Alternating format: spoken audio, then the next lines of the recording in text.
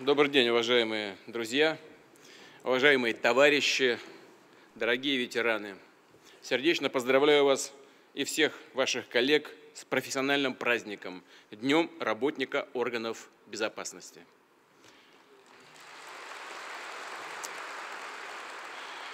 Желаю успехов всем, кто защищает Родину от внешних и внутренних угроз, отстаивает национальные интересы в самом широком смысле этого слова и для кого честная, беззаветная служба своему народу, своей стране была, есть и будет главным смыслом всей жизни.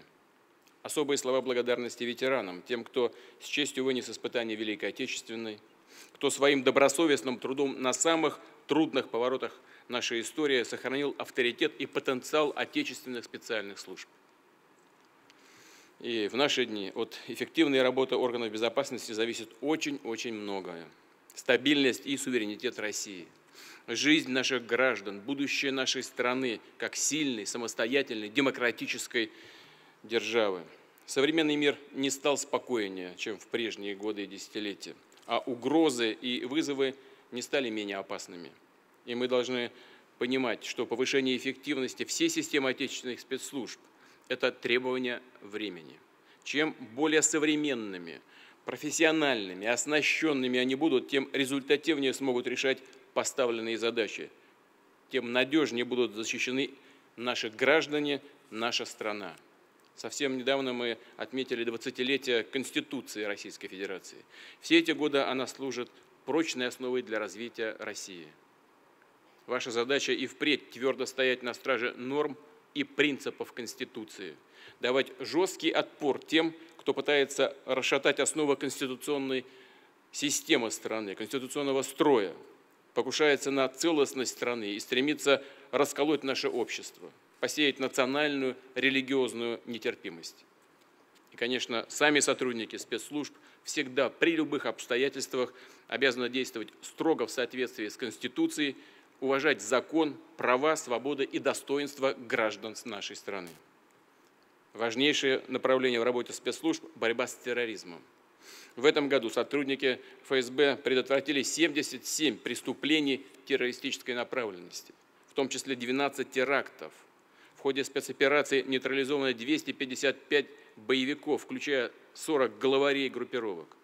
Задержаны более 500 бандитов и их пособников – надо и дальше действовать столь же решительно, в том числе при контртеррористическом обеспечении международных мероприятий, которые в будущем году принимает наша страна. И, конечно, должна быть продолжена линия на борьбу с криминальной угрозой, коррупцией и организованной преступностью. Повышенная эффективность защиты конфиденциальных сведений, наших стратегических объектов, научно-технических новаций. И также качество аналитической и информационной работы, которую ведет служба внешней разведки. Серьезное внимание предстоит уделить совершенствованию системы охраны государственной границы. Ключевые направления здесь – это наши арктические рубежи, обустройство пограничной инфраструктуры на Кавказе и на Дальнем Востоке. Сегодня Россия последовательно укрепляет свои политические и экономические позиции на международной арене участвует в реализации масштабных интеграционных проектов в Евразии. Понятно, что мы сталкиваемся и с конкуренцией, с попытками прямо или косвенно, используя механизмы так называемой мягкой силы, другие способы, хорошо известные техники, ослабить влияние России. И мы должны таким попыткам противостоять, в том числе укрепляя сотрудничество с нашими партнерами и союзниками по линии спецслужб. Уважаемые друзья, в день вашего профессионального праздника хочу поблагодарить сотрудников всех специальных служб России за компетентность, мужество, высокую самоотдачу.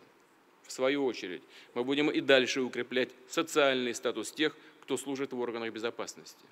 Делать все необходимое, чтобы в них, в эти органы безопасности приходили молодые, перспективные сотрудники, приходили с уважением к традициям службы, с желанием и мотивацией работать с полной отдачей, с гордостью за оказанное доверие и желанием внести свой вклад в обеспечение безопасности Родины. Еще раз поздравляю всех вас с праздником, ну и, конечно, с наступающими праздником, я имею в виду и Новый год, и последующее Рождество. Желаю вам благополучия и всего самого доброго. Спасибо вам большое за работу.